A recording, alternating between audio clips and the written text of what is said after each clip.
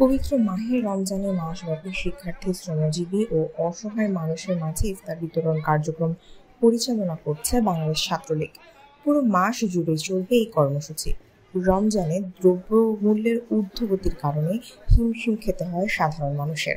তাদের জন্যই এমন আয়োজন করেছে বাংলাদেশ ছাত্রলীগ। সংগঠনটির সমাজসেবা বিষয়ক সম্পাদক মাহবুবুর রহমান বলেন, মাসব্যাপী চলবে এই ইফতার আয়োজন। প্রতিদিন ঢাকা বিশ্ববিদ্যালয়ের মধুর ক্যান্টিন সংলগ্ন এলাকায় পাঁচটা ত্রিশ থেকে শুরু হয় এই কার্যক্রম। বঙ্গবন্ধু সেই স্বপ্নের শুরু বাংলাদেশ গড়ার প্রত্যয়ে মাননীয় প্রধানমন্ত্রীর হাত হাতকে শক্তিশালী করার লক্ষ্যে সব থেকে বেশি কাজ বাংলাদেশ ছাত্রলীগ করে যাচ্ছে এবং বাংলাদেশ ছাত্রলীগ বঙ্গবন্ধু শেখ হাসিনা সব থেকে শক্তিশালী ভ্যানগার হিসেবে কাজ করে যাচ্ছে।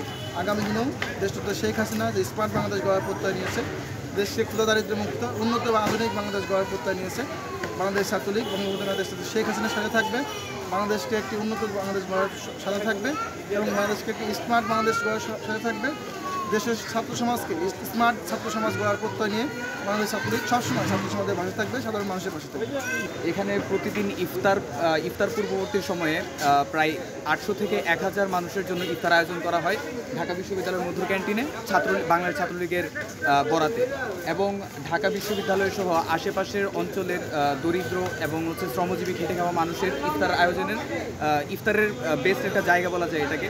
এবং দেখা যাচ্ছে শুধুমাত্র শ্রমজীবী মানুষরাই না আমরা যারা সাধারণ শিক্ষার্থী রয়েছে ক্যাম্পাসের এবং বিভিন্ন শ্রেণি পেশার মানুষদের সাথে সম্পৃক্ত হয়ে আমরা এই জায়গার মাঝে ইফতার করতে পারি এবং এই জিনিসটা খুবই প্রশংসনীয় যে বাংলাদেশ ছাত্রলীগ কেন্দ্রীয় কেন্দ্রীয় কার্যনির্বাহী সংসদের বরাতে আমরা এরকম একটা ইফতারের সুযোগ পাচ্ছি।